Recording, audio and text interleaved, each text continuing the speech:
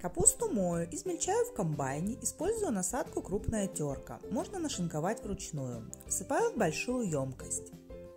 Добавляю соль, чеснок, черный перец, яйцо и говяжий фарш. У меня фарш готовый.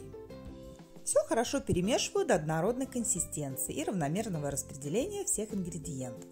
Попутно убираю крупные кусочки капусты. В ленивых голубцах крупные кусочки не нужны. На холодную сковороду наливаю подсолнечное масло.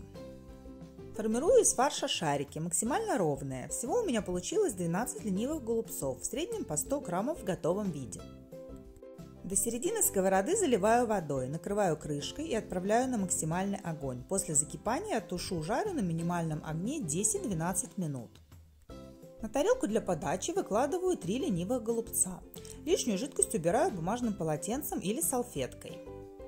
Укроп промываю, просушиваю бумажным полотенцем и выкладываю веточки укропа в виде елочки. Но пока выкладываю немного укропа. Отварной рис, думаю, рис умеют варить все. Чайной ложкой выкладываю как будто сугробы, заходя немного на елочку укроп.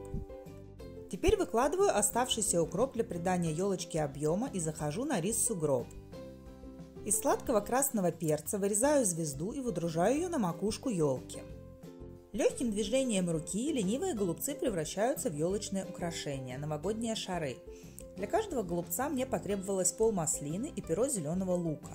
Лук сгибаю пополам и вставляю в отверстие маслины. Если его немного протянуть, то лук даже крепко держится в маслине.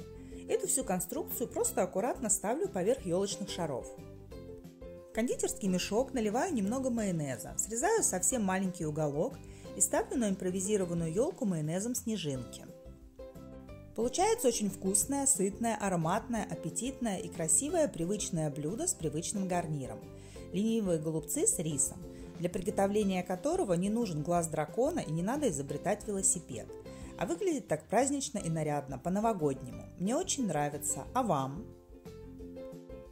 Жаль, что камера может передавать только картинку, но не может передавать аромат – Аромат просто божественный. Особенно понравится тем, кто любит капусту. Хотя едят с удовольствием даже те, кто не любит капусту.